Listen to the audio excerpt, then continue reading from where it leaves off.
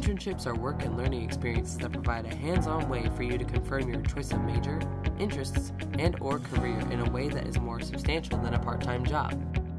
Quality internships provide opportunities for company insight, mentoring, networking, shadowing, and learning about a career field.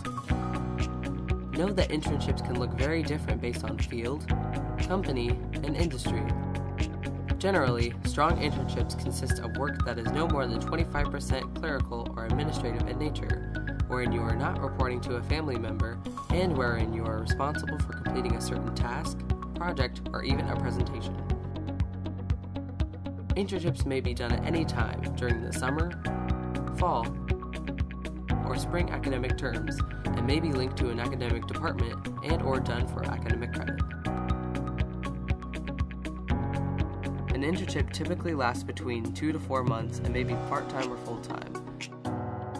Some are paid while others are not. Regardless of whether or not you earn credit for the experience or are paid, the Center for Career Development recommends that your internship include learning agreements,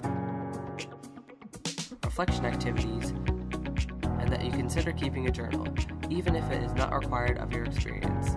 This will help you to not only remember all of the projects and experiences you were tasked with, but also to reflect on your experiences in a thorough way.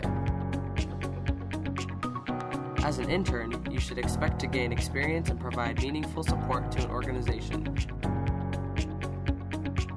To have a mentor or supervisor who provides guidance and feedback. To develop transferable skills. To build your network. And to receive some orientation to the organization for which you will be working. More information about internships, check out the Center for Career Development's Undergraduate Student Internship and Co-op Guide.